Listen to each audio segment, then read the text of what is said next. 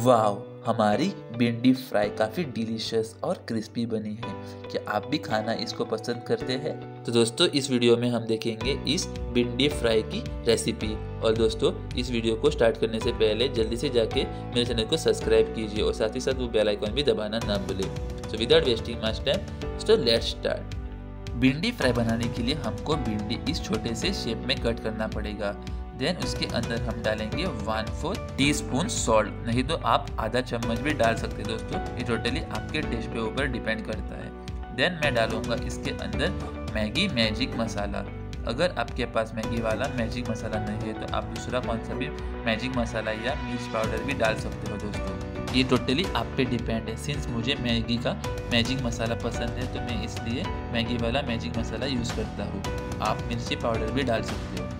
और मसाला डालने के बाद आपको इसको ऐसे तरीके से इसको पूरा मिक्स करना जिससे वो मसाले का टेस्ट उस भिंडी को आ जाए।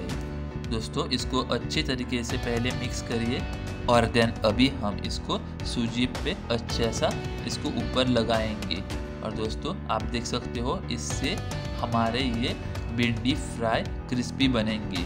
नेक्स्ट तवा गैस पर गरम करने के रखिए और उसके ऊपर थोड़ा सा तेल डालिए। दोस्तों, मैं यहाँ पर कोकोनट का ऑयल यूज़ करने वाला हूँ। आपके पास अगर कोकोनट का तेल नहीं है तो आप दूसरा कौन सा भी खाने का तेल यूज़ कर सकते हो, दोस्तों। तेल को अच्छे तरीके से स्प्रेड करने के बाद उसके ऊपर हम डालेंगे जो हमने भिंडी जो हमने मैरिनेट की थी मसाले के साथ और उस पर जो हमने सूजी लगाया था, वो सब पीसीस इस तवे पे डालेंगे।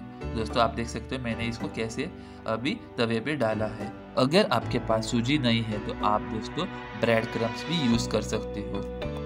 भिंडी जल्दी से पक जाए, इसलिए हमको इसको ऐसे एक प्लेट से इसको दखना है। और दोस्तों, इसको ऐसे ही एक मिनट तक रखिए। देन दोस्तों, ये प्लेट निकाल के आप उस भिंडी को दूसरे साइड पर ही भी फ्राई कीजिए।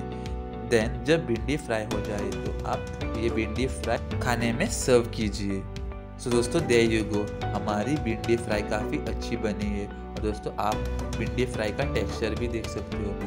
आप एक साइड पर सूजी जो फ्राई हुई है, जिसके कारण हमारा भिंडी फ्राई काफ़ी क्रिस्पी बना है, वो भी देख सकते हो। दोस्तों, ये काफ़ी टेस्टी भिंडी फ्राई है। आप इसको अपने घर पर ज़रूर ट्राई कीजिए और मुझे कमेंट सेक्शन में बताइए कि आपको ये भिंडी फ्राई की रेसिपी कैसी लगी है। और ये वीडियो एंड करने से पहले आपने अगर मेरे चैनल को अभी तक सब्सक्राइब नहीं किया है तो जल्दी से जाके सब्सक्राइब कीजिए और साथ ही साथ वो बेल आइकॉन भी दबाना ना भूले। ऑल्सो दोस्तों, इस वीडियो को ज़्यादा से ज़्यादा लाइक और शेयर कीजिए। Till then signing from this video जय हिंद